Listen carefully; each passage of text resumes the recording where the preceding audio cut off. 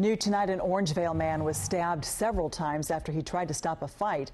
KCRA 3's Richard Sharp spoke with the victim's father, who also stepped in.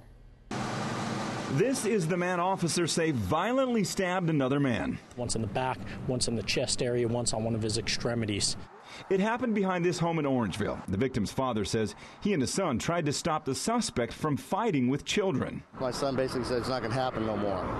That's when the guy came at us with a bat took the bat away from him. Cliff Wiley says he started to leave when he heard yelling. He says his son was stabbed four times. I started yelling for my son, what's going on? And we're in the front yard yelling, and this kid here said he's laying on your back patio. Seconds later, Wiley found his son lying in a pool of blood on his back patio. He called 911, trying to stop the bleeding as the suspect ran off.